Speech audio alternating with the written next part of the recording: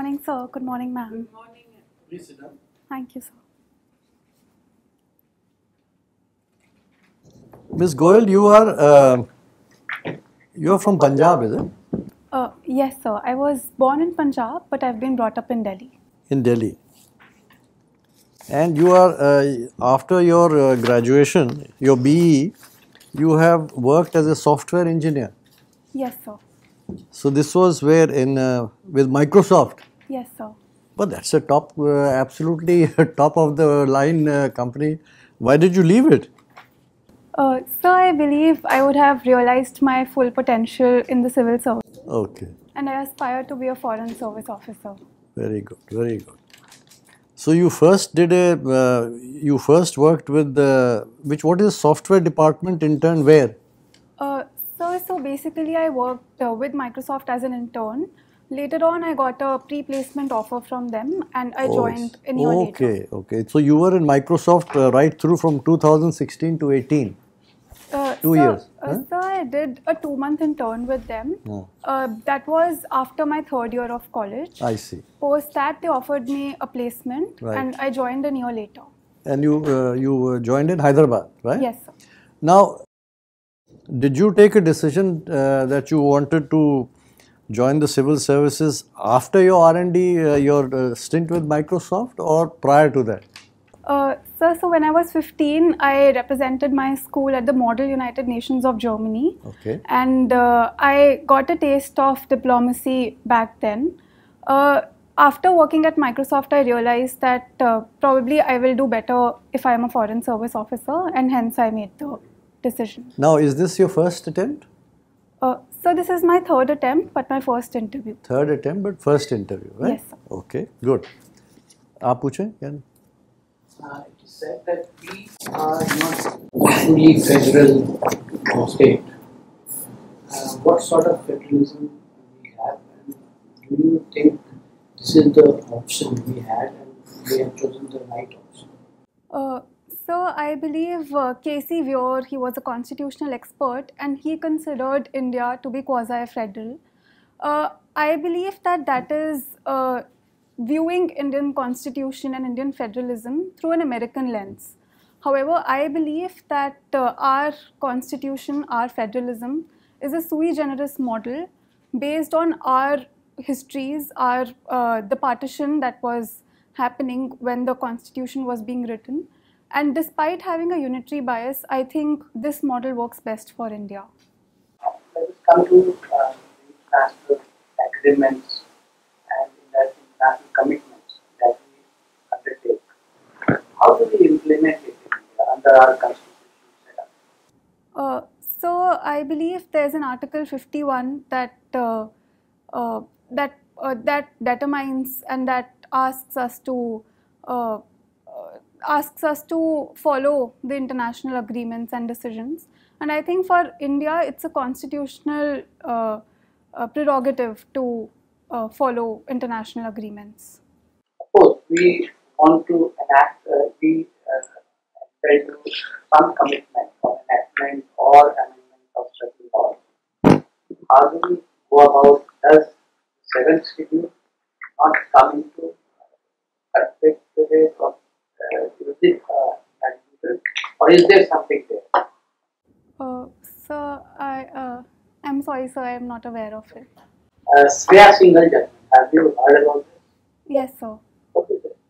So uh, it's regarding the 60, uh, section 66A of the IT amendment, uh, IT Act 2000, and uh, it uh, respected the ju- uh, the judgment respected uh, Shreya Singhal's right to freely uh, uh, to freely speak on the internet, and uh, it respected uh, freedom of speech and expression on the internet. Nowadays, social media is growing now. How do we regulate social media today in today's context? So, uh, despite democratizing information and media, social media poses its own threats. And uh, recently, the government also brought the social media rules, the IT rules, which uh, posed a responsibility on the social media intermediaries.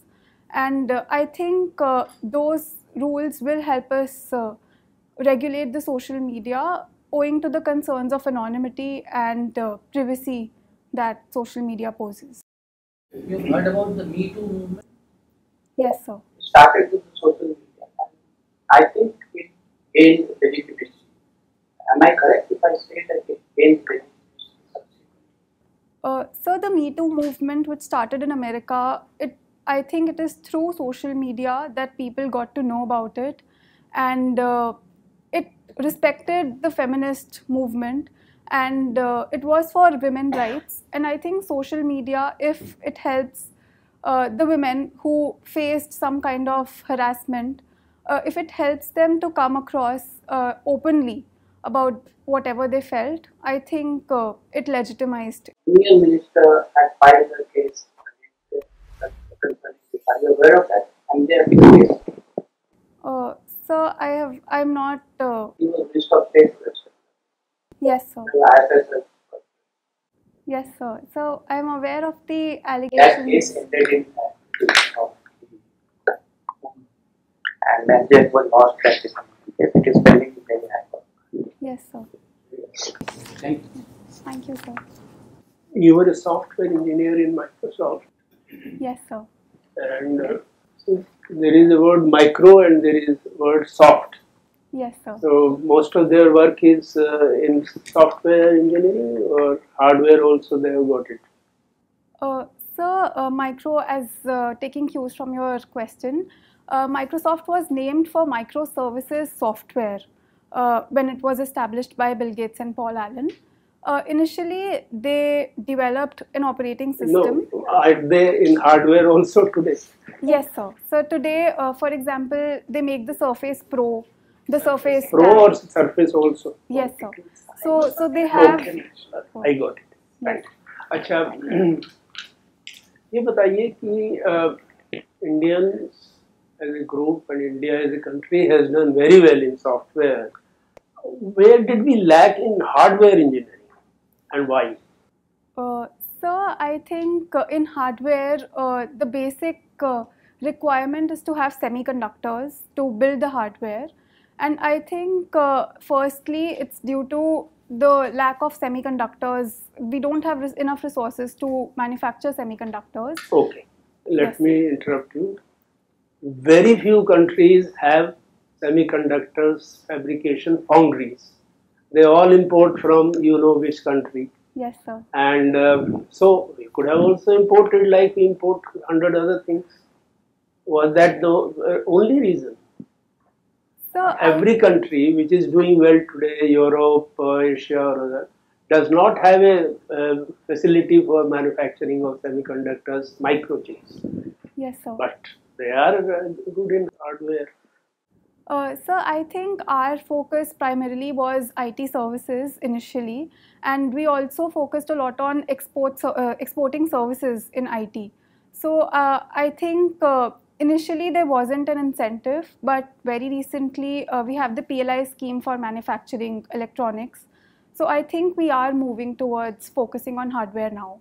If I put it this way, that it was a mistake and a very grave mistake on the part of our leadership, IT, political, or whatever you say, to neglect hardware manufacturing in India.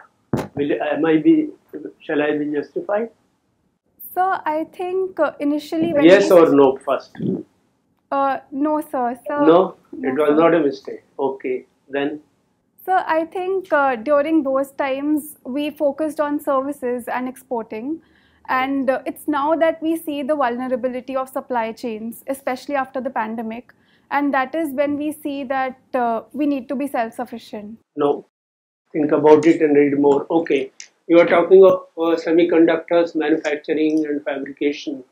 What are the main decisions, major decisions the government of India took in December 21 to encourage uh, semiconductors manufacturing even at the nano, nano scale, 25 nanometer and all?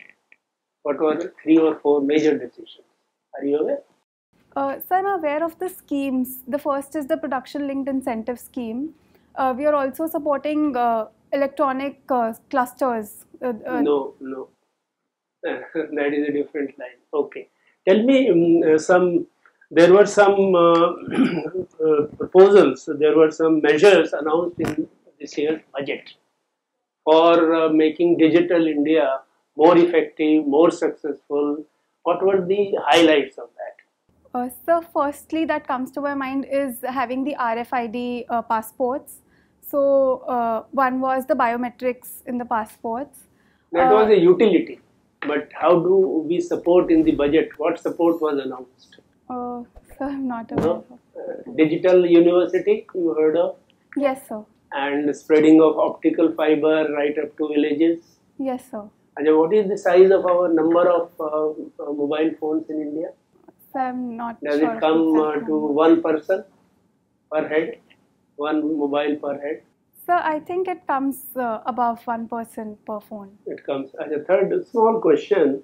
When Corona was spreading in Western Europe, uh, there was a sudden uh, uprise in Italy, and uh, that uh, uh, arose because of certain, um, you know, nara uh, given by one of the mayors of an Italian city.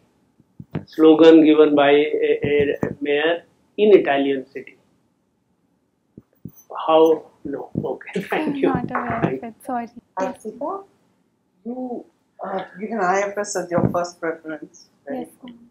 Now you are winning. You won. Uh, you participated in Intra College Foundation Geek Opinion.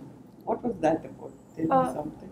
Uh, ma'am, so it was uh, a blog writing competition. The name of the competition was Geek Opinion, and uh, we were supposed to write a blog uh, uh, relating to technologies. Are you a And- geek?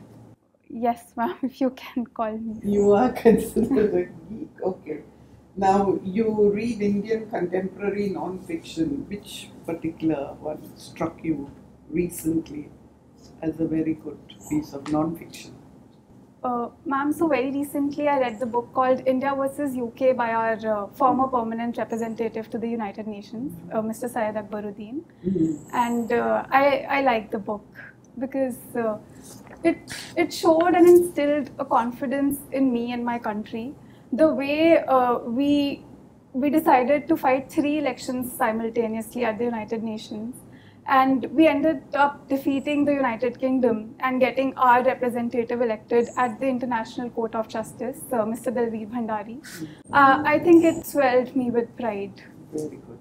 All right. Just yesterday, a bill was introduced in Parliament which underlines India's foreign policy reach. What was that bill?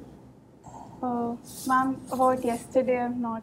Okay, it is a bill on the called the Antarctic Bill. Do you know something about India's Antarctic policy? Uh, yes, ma'am. Uh, what are we a member of the Antarctic? uh, ma'am, of the Antarctic, uh, I am not sure, but of the Arctic, we are observer uh, of the Arctic Council, and we have uh, a draft uh, Arctic policy as well. We also no, have. in Antarctic, we did. We have signed a treaty 40 years ago, yes, and we have two stations there. Yes, ma'am. Which are they? Uh, ma'am, I think Bharti and Himadri Bharti and Maitri. Himadri is is in. Arctic. Yes. Yes, ma'am. Okay, so what was this bill about? The bill is to regulate and monitor activities. Yes. to prevent any uh, illegal mining, you know, any kind of activity there which goes against the principles laid down for Antarctic. In future, anybody wanting to go on expedition also has to get the permit. Okay, that's the latest on the Antarctic. Okay. How many research stations are there? Uh, ma'am, of India or total? No, India has only two. Ma'am, I'm not sure of the exact number. Okay, then 40 permanent stations. Uh, the President of India is presently on a state visit to Ashgabat. Yes, ma'am. Tell me something about where is Ashgabat? What is this visit about? Uh, ma'am, I think it's the capital city of uh, uh, some uh, Central Asian Republic. I'm not. Which one? I'm not able to Turkmenistan. Turkmenistan. Okay, what? Tell me something about the visit. Did you read about it? Uh, ma'am, I think uh, I have not uh, read about it, but I think uh, India is uh, relooking at the Central Asian area, and I think the state visit also pertains It's the first uh, visit by a president of India to Turkmenistan after it became an independent nation. A- Anything you know about uh, trade and connectivity issues relating to Turkmenistan? You've heard of the Ashgabat Agreement? yes, ma'am. What is that agreement? Uh, ma'am, so uh, the Ashgabat agreement, uh, uh, if I am uh, if I'm recollecting it correctly, it was the 17 plus one INSTC corridor also that we were thinking of joining, and it was to connect uh, to connect all the Central Asian republics to the Eastern Europe side. Uh, I mean, regarding the Turkmenistan, we also have a pipeline, the Tapi pipeline, Yeah. that is Which other country? uh, Turkmenistan, Afghanistan, Pakistan, and India, and Iran also, I think. And now, um, who won the Nobel Prize for Literature? I'm not aware of the. I'm not able to recollect it right. Abdul Razak Gurna. yes, ma'am. Now we had a spate of uh, visits after the, during this uh, ongoing war. Some countries have visited, sent their top representatives to India Yes, recently, just over this week.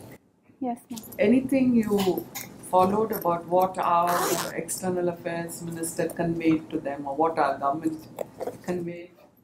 Uh, ma'am, I think uh, under the ongoing war that we are seeing, uh, we saw uh, a series of visits. We first had uh, the Jap- uh, Japanese prime minister. Then we also had we also had delegations from the European countries. Very recently, we also have the Russian foreign minister visiting us.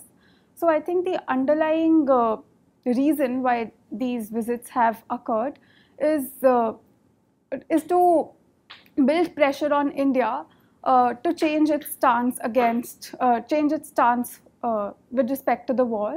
And uh, I think, uh, for example, the statements by the US delegation, uh, Mr. Daleep Singh, I think those were pertinent because they stressed on how India has to balance its relations with the West and the US on one hand and Russia on the other.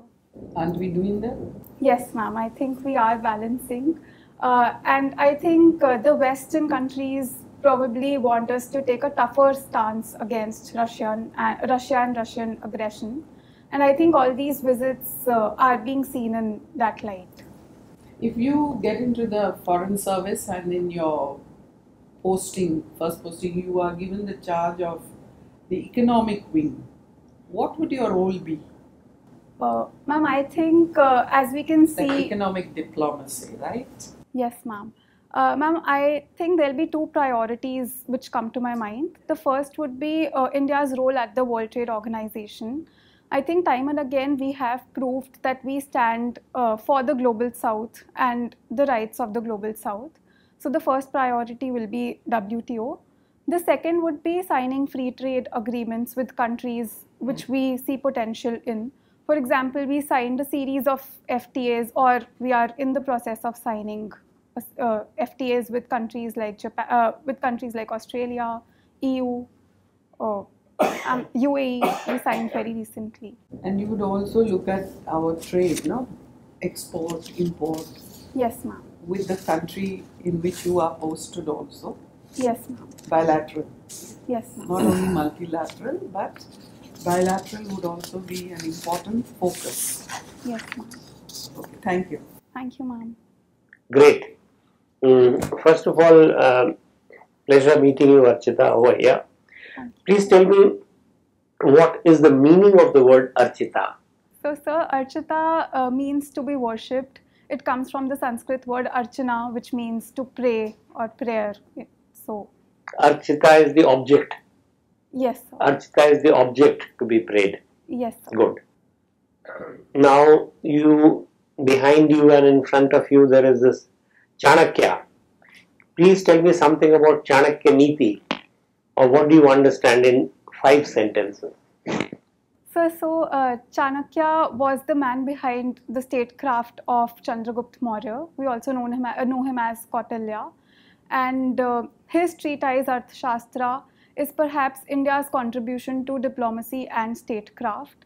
Uh, the way he has written about war, uh, we see the earliest mentions of realism and uh, the uh, uh, realism in Indian thought, political thought.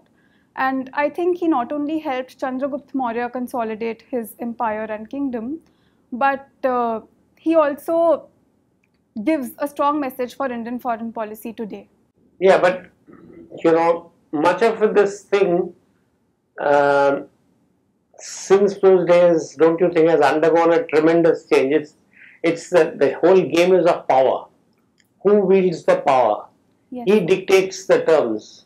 You know, if in the Second World War, if the Axis powers would have won, theoretically I am saying, today we would have sung a different tune altogether. Who writes history? Yes, You know, the winner writes it all. So, in this, what has he said with rela- in relation to the power? Uh, so according to Kautilya, might is right. Uh, the strong do what they do, and the weak must accept what they what they have to accept. So I think Chanakya also propounded the same theory of might is right. So now, eh, bringing down to the present and what ma'am was asking you, that you as a diplomat, where would you position yourself in the global context where India is and you're, you are, you know, representing India in a certain country, and uh, in that context, how would you position yourself? Or the, what would be your thinking? Just assume. So I think uh, today India is exercising its strategic autonomy, and uh, as a diplomat, I will balance the interests, the national interests that India has, along with the civilizational principles uh, and ideas that India has been advocating. So I think my foreign policy, as I would see, would be a balance of both these two. okay think about this subject also you know further and uh, next thing that i would like to ask you is what are the energy implications of the war in ukraine you know what are the energy implications for the world So, so uh, firstly, it has uh, uh, it has manifested in a way, uh, in different ways the war, and uh, pertaining to energy, uh, firstly, Russia ha- Russia is uh, a big a big uh, exporter of oil.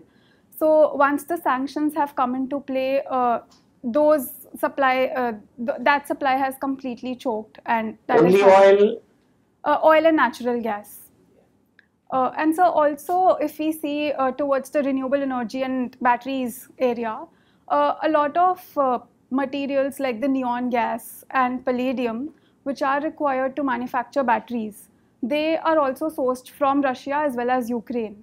So even that, the manufacturing uh, capabilities are being affected due to the ongoing conflict. so what will happen in europe etc you know they, since they are on the other side of russia and if they do not get the natural gas and oil so what are they where are they going to source it from? Uh, the heating requirements and so on and so forth?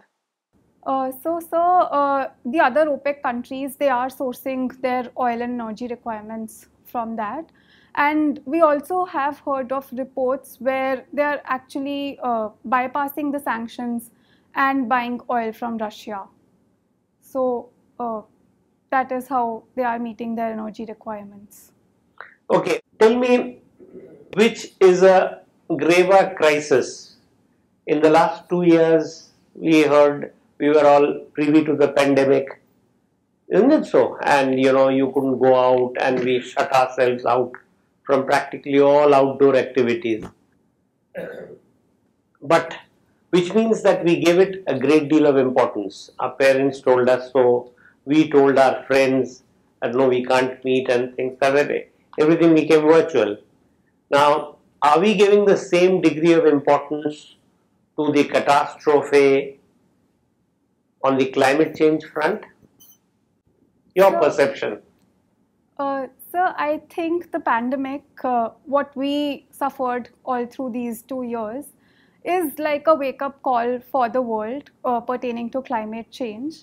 And even if we haven't taken climate change seriously, the way at an individual level we should be taking, uh, I think the pandemic will uh, open everybody's eyes and start a new revolution towards climate change. So, for example, uh, at, at, a personal level, I don't switch on my ACs at home and I try to use the fan as much as possible, uh, being mindful of the carbon emissions that ACs generate. So, I think at, since, pan, since the pandemic has instilled first a scientific temper and b a sense of responsibility towards the world i think climate change will also be handled. Uh, i'm optimistic of being you have to be not only practice it at a personal level but also be a sort of uh, an advocate of this in all communities that you face but uh, some of these issues i would like you to think about more seriously so that you can have more focused responses Good. Thank you.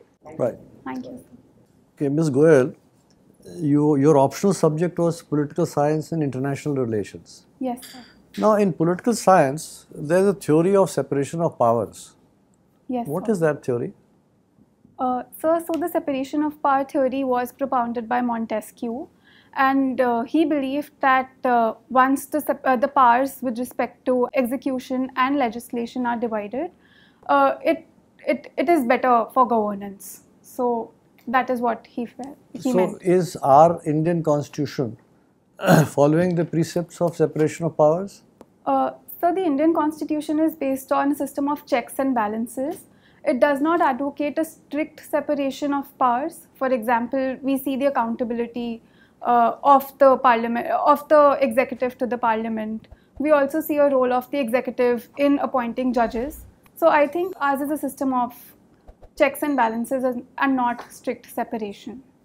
Now, the US Constitution, that also follows a, a, separation of powers, but they also have checks and balances, don't they? Uh, so they have, but I think in the US, uh, in the case of the United States, we see a strict separation. For example, the executive is not fully responsible to the parliament but in Indian scenario, considering our colonial past and our society, uh, I think the checks and balances uh, model works better. Okay, right. Now you have mentioned uh, as one of your extracurricular activities. What is vin- vinyas yoga? Yes, sir. What is it? How is it pronounced? Uh, so vinyasa. Vinyas. Yes. Now, uh, how many different types of yoga are there? Uh, so, so uh, considering the yoga, the renaissance that we see in yoga, there are different schools of yoga. For example, vinyas that I practice. You also have uh, hatha yoga, uh, Iyengar yoga, Bikram yoga, and uh, more or less they believe in the same principles, but the way we perform yoga, the asanas, they differ. So, uh, the one which you have practiced, Vinyas Yoga, what is the, uh, how can you say that this is the, what is the difference between this and the others? Is there any difference? Yes, sir. Uh, so, so the asanas remain the same, but in vinyasa, uh, we weave the asanas into a single posture, okay. and it's all about gracefully exiting one posture into an another posture. And every time the sequence is over, we perform a vinyasa, which means a high plank to bhujangasana, to mountain pose and then we move on so to the did other. you attend did you attend some uh, place for this kind of yoga uh, so, so I was uh, acquainted with this yoga form while I was working at uh, Hyderabad. Okay. And uh, that is how I learned. Okay, right. Now, our relations with China. Now, there are several irritants which continue in our relationship. Border uh, dispute is one of them. Yes. What are the other areas in which we have uh, irritants with China? Uh, so, so interestingly, interestingly, I read a book uh, since my hobby is reading, mm. and the book is called India versus China by Kanti Bajpai. And he says that uh, we suffer from a 4P problem in the relations. P, the first P being the perimeter, which, which is the border dispute. But along with that, the irritants are also the perception that we hold of each other. For example, China holds a perception which is uh, not uh, which is not a favorable perception of India. And also, uh, we have the power asymmetry. For example, the trade deficit that we have with China. Uh, during the border dispute, we also heard reports of the power sector in Maharashtra being affected by Chinese cyber attacks. Cyber attacks, yeah. So that is also another issue. And I think the, the fourth P being the partnership, uh, as we see that India has developed a proximity with the US, I think our relations with China have also suffered because of the same. You see, uh, you've you've quoted from uh, uh, from Bukanti Bajpai. That's all right. It's, it's very nicely written, no doubt about it. But it's, is it just a matter of perception, or is there anything substantial on the ground? After all, you are aspiring for the foreign service, Yes, sir. so you should be very very clear in your thought. Is it a matter of perception with China, or do we have serious problems with China? Uh, sir, so when he talks about perception, Forget Kanti Bajpai. I am asking you, as a aspirant for the Indian Foreign Service, do we have, in your view, serious issues with China or not? Oh, so I think we have, and uh, I think we see uh, that China suffers from a Middle Kingdom syndrome, where it feels that there can only be one sword in, Asia, which is China. No, no, uh, Ms. Goyal, you are going into a lot of uh, you know these uh, terms. I am asking you on the ground. Okay, sir. What are the major irritants which we have with China? Do we have any or no? Uh, yes, sir. So first is the border. Yeah, the second is is the trade deficit. The third is the cyber uh, Okay. security. Yeah. Uh, the fourth is. Uh, so What about uh, China blocking our attempts at the NSG? Yes, sir. Isn't that a uh, cause of irritant for us? Yes, sir. CPEC? Yes, sir. Why is India, uh, how is India concerned with the CPEC? Uh, so it doesn't respect our territorial integrity. Exactly. It fa- uh, it passes through what we call as the POK. That's right, POK. And uh, string of pearls, Yes, sir. an attempt by China to to build a series of ports, right? Yes, sir. Okay. So, okay, now let me come to something else.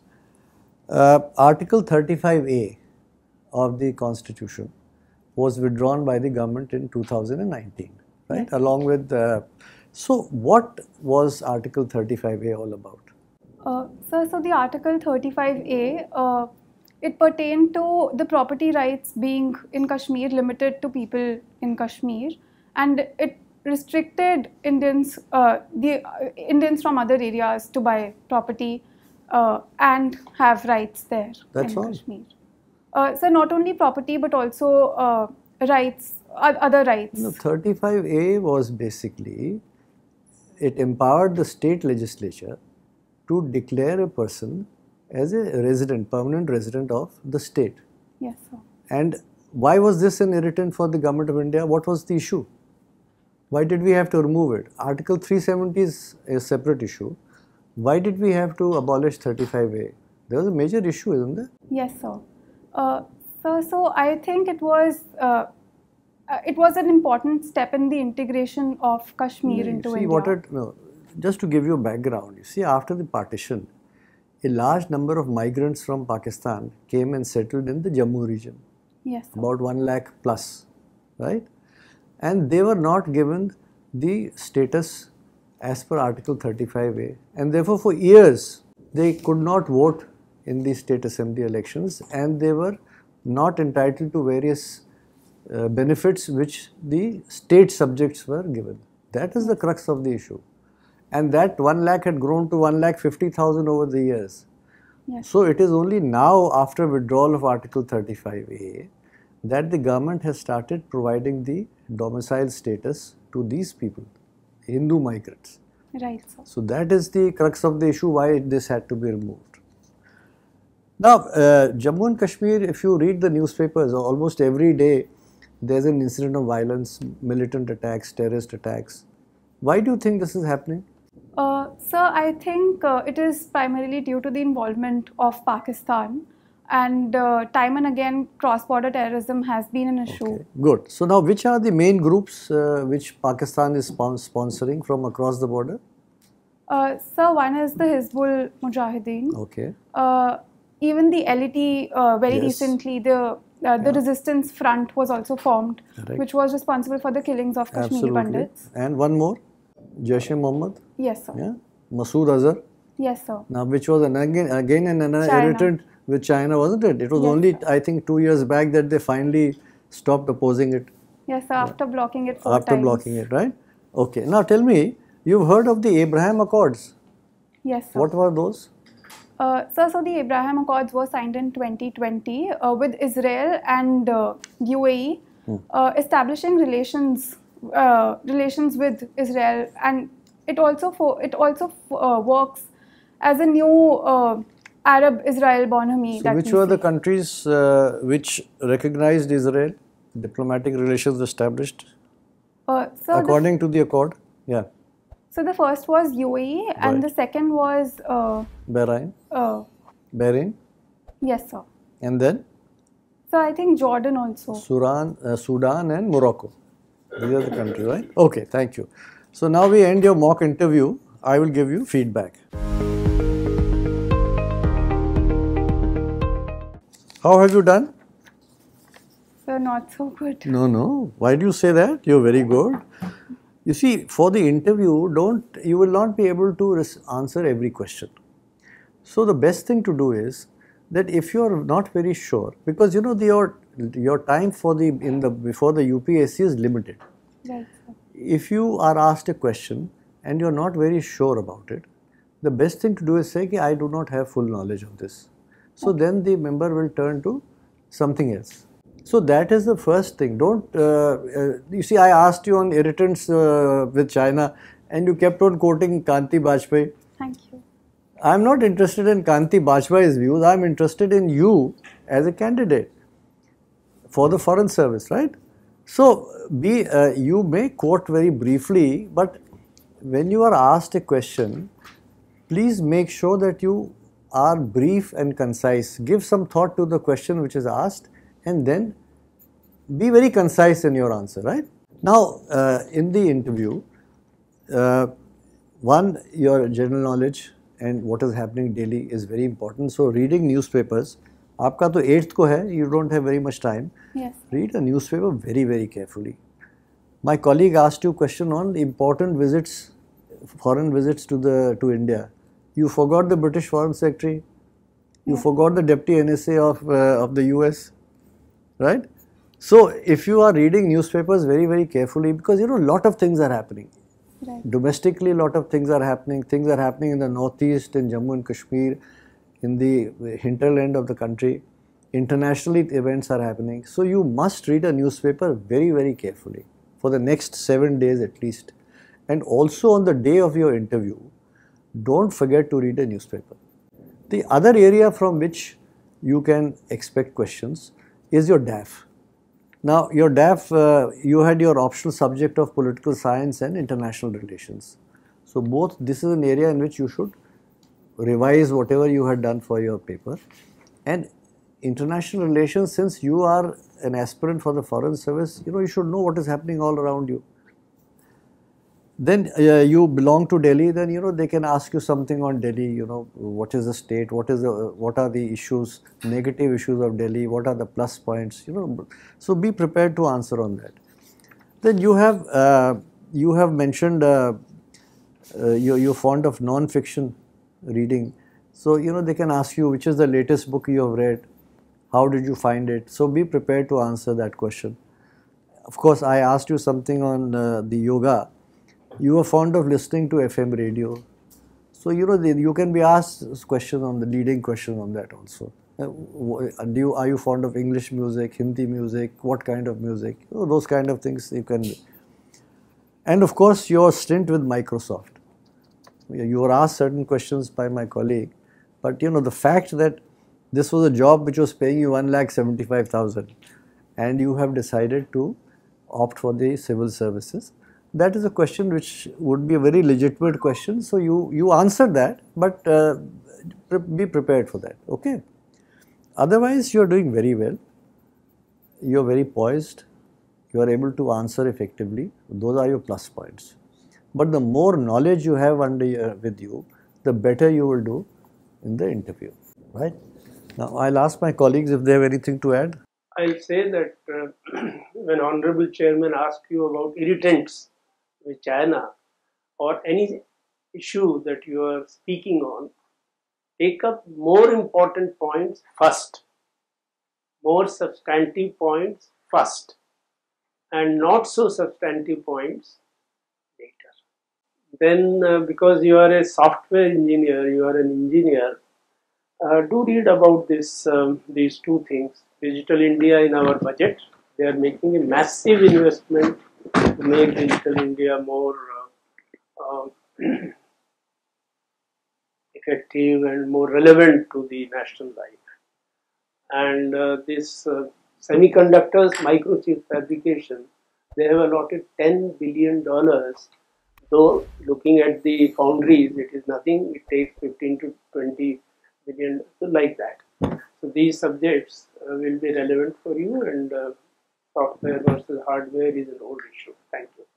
So, so this is the one that you were talking about, December 2021. Yes. Okay. There are three major decisions taken.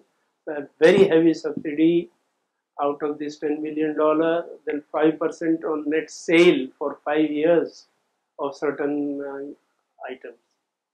Thank you, sir. Yes. Akshita, you're very composed, you don't get flustered. And as you've already been told, uh, be brief, to the point. You know, just, and always give your view, you know. You don't have to quote anybody, you give your views directly. And uh, do you wear saris? Yes, ma'am, I'll wear a sari on the day. On the interview, you will say, yeah, it looks more formal Yes. and, and you're comfortable in a sari, right? Ma'am, I'll practice at home. So just a suggestion. Yes. And otherwise, uh, as I said, I think the newspaper reading should be really done every day till your interview and on the day of your interview. Very often they begin by asking what was today's highlights, you know, to throw you off guard. All the best. You, you should do well. Thank you, ma'am. Yeah, I think um, there's nothing much that I wish to add, except that you know, be slightly more confident. You know, three percent, four percent more confidence would help. After all, you see, it's you have come for a. There are so many options in the employment market, and you've come for something, and you're good. That's all we would like to tell you. A full. Uh, and um. So, and full throttle, and then uh, some of the areas which we question, there was a the representative. What they ask you over there might be entirely at variance from the what was discussed in the mock interview. But the my suggestion would be that each time somebody asks you a question which that which is slightly tricky or you have to put it in a couple of sentences, take a breath and then answer. And as one of my worthy colleagues pointed out over here, uh, begin by prioritization. You know, you have to you have to say what is the most important thing first. And you have a scientific bent of mind, and you've done so well in life. So that's how, and the smaller things will follow as a result of it. Focus to the point. That will also help. God bless. All the best. Thank you, thank you, ma'am. Thank you, sir. Don't forget to like, share and subscribe to our channel and press the bell icon to never miss an update.